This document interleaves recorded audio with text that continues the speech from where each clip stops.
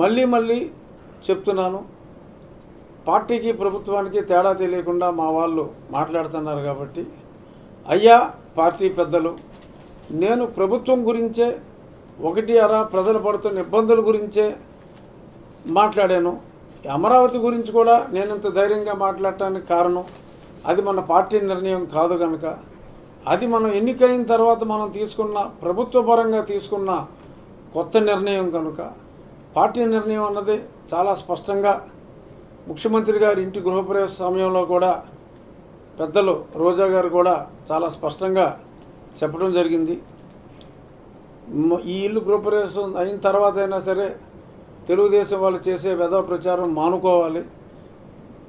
జగన్ రెడ్డి గారే ఇక్కడ ఇల్లు కట్టుకున్నారు ఆఫీస్ కట్టుకున్నారు. చంద్రబాబు నాయుడు గారికి ఇక్కడ ఇల్లు కూడా లేదని రోజా గారే చాలా స్పష్టంగా చెప్పారు. సాక్షాత్తు శాసనసభలో నేను ఒకసారి మాట ఇచ్చానంటే మాట తప్పే వంశం కాదు అని చెప్పి గౌరవనీయులైన అప్పటి ప్రతిపక్ష నాయకుడు గారు కూడా చాలా స్పష్టంగా చెప్పడం జరిగింది. అందుకని ఇది పార్టీ నిర్ణయం కాదు కనుక ప్రభుత్వ నిర్ణయం కనుక దీన్ని నేను విమర్శించే హక్కు సరిదిద్దవలసిన బాధ్యత ఒక ప్రజాప్రతినిధిగా నాకు ఉంది కాబట్టి దీన్ని నేను ఉపయోగించుకుంటున్నాను. అయ్యా పార్టీ అభిమానులారా కొందరు దురభిమానులారా దయచేసి identify the difference between the party and the government I had never criticised the party and my loving party president. I had only given some suggestions and I will continue to give the suggestions to the government. This is what I wanted to submit and appeal to all the citizens of the state. తప్పు జరిగితే రాజ్యాంగం మనకి హక్కు ఇచ్చింది section sixty six ఏదైతే తీవ్రంగా కేసులు పెడుతున్నారో దాన్ని కూడా కొట్టివేయటం జరిగింది. మనకి రాజ్యాంగం ఇచ్చిన హక్కుని ఉపయోగించుకుందాం. తప్పు జరిగితే ప్రశ్నిద్దాం.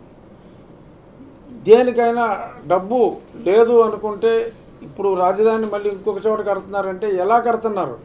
డబ్బు ఎక్కడిది? అని అడిగే హక్కు మనకుంది. ఉన్న ఆస్తులు అమ్మేసి ఒక ఊరు అమ్మేసి ఇంకొక ఊరు కడతానంటే కుదరదు. ఇవన్నీ కూడా ప్రశ్నించే హక్కు మనకుంది కాబట్టి న్యాయ పరిధికి లోబడి రాజ్యాంగానికి లోబడి మనం ఏమి ప్రశ్నించినప్పటికీ కూడా ఎటువంటి రాంగ్ కేసులు పెడతారని దయచేసి మీరెవరో భయపడవద్దు. ఇది మా పార్టీ వాళ్ళకి చెప్తున్నాను వేరే పార్టీ వాళ్ళకి చెప్తున్నాను. ప్రజలందరికీ చెప్తున్నాను పార్టీలకు అతీతంగా ప్రజలందరికీ నేను చెప్పేది ఏంటంటే తప్పు జరిగితే రాజ్యాంగం మనకి ఇచ్చిన ఆర్టికల్ నైన్టీన్ని చదువుకోండి తప్పు జరిగితే దయచేసి ప్రశ్నించండి. నువ్వు ఈరోజు నోరు మూసుకొని ప్రశ్నించకపోతే రేపు మన బ్రతుకులు అధ్వానం అయిపోయిన తర్వాత మనమే మన మనకు మనం బాధపడాలి కానీ ఎవరూ మనల్ని కాపాడటానికి రారు. దయచేసి రాజ్యాంగాన్ని మీరు చదివినా చదవకపోయినా కనీసం ఆర్టికల్ నైన్టీన్ని చదవండి. మీకున్న హక్కును ఉపయోగించుకోండి. ఎవరు కూడా మీ మీద దొంగ కేసులు ప్రజల్లో ఆ చైతన్యం వస్తే ఎవరు కూడా పనికిమాలిన కేసులు దొంగ కేసులు అంటే ఇప్పుడు పెడుతున్నారని నేను అంటలా. పెట్టకుండా మనం జాగ్రత్త పడాలని చెప్పి చెప్తున్నాను. ఏమీ ఇబ్బంది లేదు. మనం రాజ్యాంగాన్ని ఫాలో అయ్యి రాజ్యాంగ ని- నియమ నిబంధనల ప్రకారం మనం ఉంటే ఎవరు కూడా మనల్ని ఏమీ చేయలేరు. అమరావతి కోసం అందరం కష్టపడదాం. రైతులకు జరిగిన అన్యాయాన్ని ముఖ్యమంత్రి గారికి వివరించే ప్రయత్నం చేద్దాం. ఇంకా పరిస్థితి చేయి దాటిపోలేదు. రాత్రికి రాత్రి విశాఖపట్నం వెళ్ళిపోయినా కూడా అక్కడ ఏ నగరాన్ని నిర్మించలేరు. అమరావతిలోనే కంటిన్యూ అయ్యేలాగా రాష్ట్ర ప్రజలందరూ కూడా ఎవరికి అన్యాయం జరగకూడదు. అక్కడ అమరావతిలో I got the statistics a- ముప్పై రెండు శాతం ఎస్సీ ఎస్టీస్ అరెకరం ఎకరం భూములే ఇవ్వటం జరిగింది. ఎంతో నమ్మకంతో ప్రభుత్వం మీద ఉన్న నమ్మకంతో.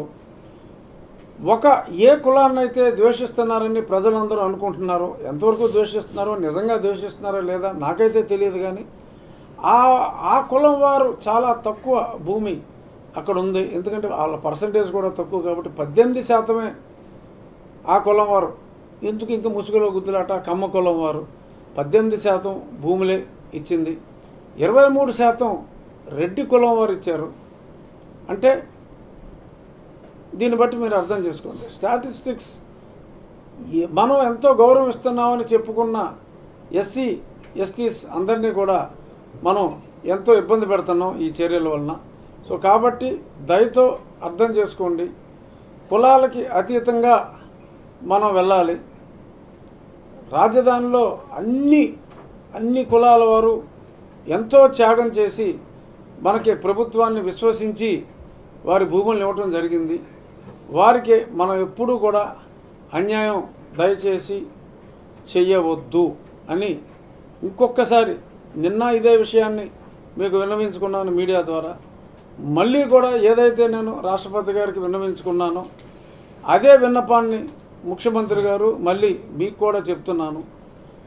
మాట తప్పను మడమ తిప్పను అని అన్నప్పటికీ కూడా ఒకసారి మన ఆట మీద మనం అన్న మాట మీద మనం ఇప్పుడు మడమ తిప్పాం కాబట్టి ఒరిజినల్ మాటకి కట్టుబడి ఉండేలాగా మళ్ళీ ఈ మాటను మనం వెనక్కి తీసుకుని ఒరిజినల్గా ఏ మాట అయితే మీరు శాసనసభాముఖంగా ఎన్నో ఫోరమ్స్లో ఉమ్మారెడ్డి గారితో సహా చెప్పించారో దానికి కట్టుబడి ఉందాం.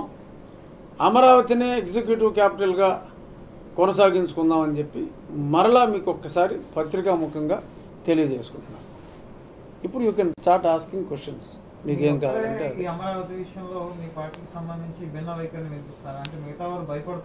నేను కాదు బాబు నేను మా పార్టీ ఒరిజినల్ వైఖరిని చెప్తున్నా. ఇప్పుడు మిగిలిన వాళ్ళు మా ప్రభుత్వ వైఖరి గురించి సమర్థిస్తూ మాట్లాడుతున్నారు. నేను మా పార్టీ ఒరిజినల్ వైఖరిని సమర్థిస్తూ ఇప్పటి ప్రభుత్వ వైఖరిని వ్యతిరేకిస్తూ ఉంటే నా ఒపీనియన్ నేను చెప్తున్నా. ప్రజల ఒపీనియన్ ప్రజాభిప్రాయం ఇలా ఉందని చెప్పి నేను చెప్తున్నా. ఏమన్నారు సార్? మరి రాష్ట్రపతి గారికి రాజధాని చెప్పారు కదా. రాష్ట్రపతి గారికి మెమరాండం ఇచ్చాము. మనం చెప్పవలసింది చెప్పాము. వారు ఏం చేస్తారనేది మనం వేచి చూడాలి. డెఫినెట్గా రాష్ట్రపతి గారి దగ్గర ఇన్ఫర్మేషన్ అంతా కూడా ఉంది. Is thorough with all the information that is going on across the country so కాబట్టి డెఫినెట్గా న్యాయం చేస్తారని సంపూర్ణ ఆశాభావంలో నేనున్నా. పార్టీపై బురదల్లే ప్రయత్నం చేస్తున్నారని వైసీపీ నేతలు అంటారు. మీరేమంటారు? అసలు ఆ పార్టీ మీద ఎవరన్నా బురద జల్లితే తుడిసే ప్రయత్నంలో నేను ఉన్నానని చెప్తున్నాను. నీ దగ్గర ఎవరన్నా అంటే వాళ్ళకి సమాధానం చెప్పు. బురద తుడిచి పనిలో ఉన్నా నేను. బురద వేసి పనిలో కాదు. ఎవరైనా వేస్తే దురభిమానులు వేసిన బురదను నేను తుడుచుకుంటున్నా.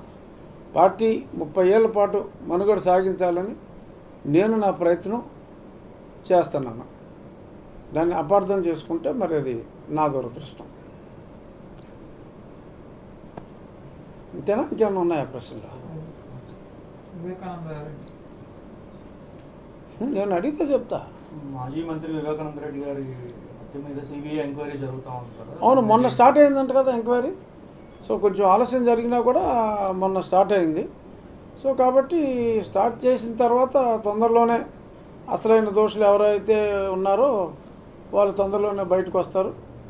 గతంలో మేము కూడా మా ప్రభుత్వం కూడా సిఐడిని వేసింది. బట్ అది కొలుక్కొచ్చే లోపే వివేకానంద రెడ్డి గారి కుమార్తె డాక్టర్ గారు ఆవిడ షీఈస్ ఏ ఫేమస్ వైరాలజిస్ట్ ఆవిడ కోరిక మేరకు సిబిఐని అడగటం జరిగింది. సిబిఐ కూడా మొన్న స్టార్ట్ చేశారు కాబట్టి మేబీ ఒక రెండు నెలల్లోనో మూడు నెలల్లోనో నివేదిక రావచ్చు. నిజమైన దోషులు ఎవరైతే వాళ్ళు శిక్షించబడతారు.